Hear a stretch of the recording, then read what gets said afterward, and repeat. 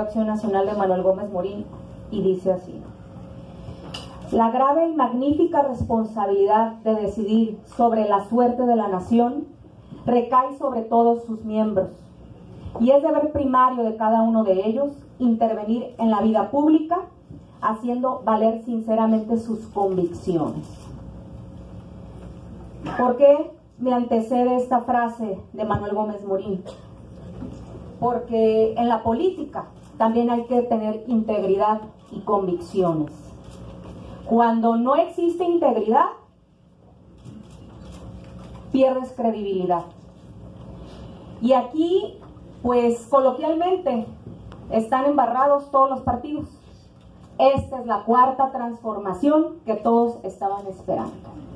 Es lamentable que compañeros panistas se hayan aliado para ampliar el periodo constitucional de la gobernatura a cinco años. Es una vergüenza. Esperemos que tengan su castigo por parte de nuestra institución panista. Pero no solo los panistas nada más, también miembros de otros partidos y también háblese de los que están, de los que estuvieron en coalición, pues en la gobernatura electa. Nadie está libre de pecado. Sí, en sentido, como lo he dicho en otras ocasiones, lo que me sorprende es que ya no me sorprenda. Que este cabildo, gracias a la indisciplina, la cobardía y los caprichos, siempre llegue tarde.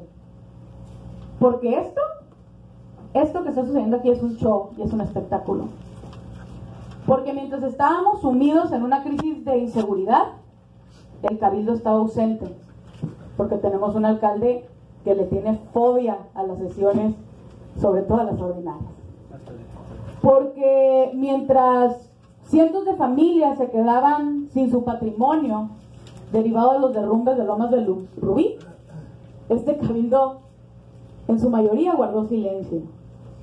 Pero curiosamente hoy sesionan de manera extraordinaria y urgente para intentar limpiarle la cara a una institución que hace unos días sus diputados terminaron de enterrar.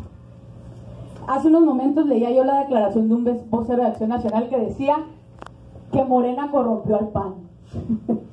de las cosas más graciosas que me ha tocado leer. Porque el PAN no necesitaba Morena para corromperse. Porque el PAN se corrompió desde que olvidó sus principios doctrinarios.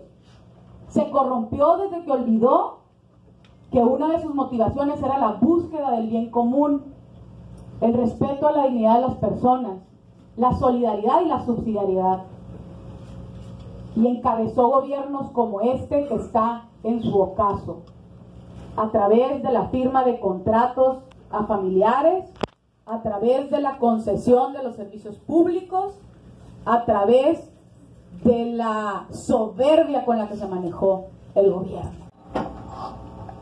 Da cuenta del proceso de negociación que se vivió en el Congreso y por si mis compañeros ediles del PAN no están enterados, Ana Paula afirma que el gobernador Kiko Vega, a espaldas de Marco Cortés, su dirigente nacional, negoció con los diputados del PAN su voto a favor a cambio, de, a, cambio del nombrar a su amigo cercano en la Auditoría Superior, Carlos Montejo. Entonces, yo creo que estas sesiones de cabildo para polemizar asuntos internos del PAN, que si se pelean los diputados con los regidores del PAN, no tiene caso. Eh, en el caso de Morena siempre hemos sido congruentes, estamos a favor desde un inicio, previo al proceso de que el mandato sea de cinco años. Si ustedes, no sé si ya lo han hecho, pero si leen, el, como dice el alcalde, si leen el octavo, el octavo transitorio, eh, van a darse cuenta que el artículo inicia afirmando para efectos de la concurrencia.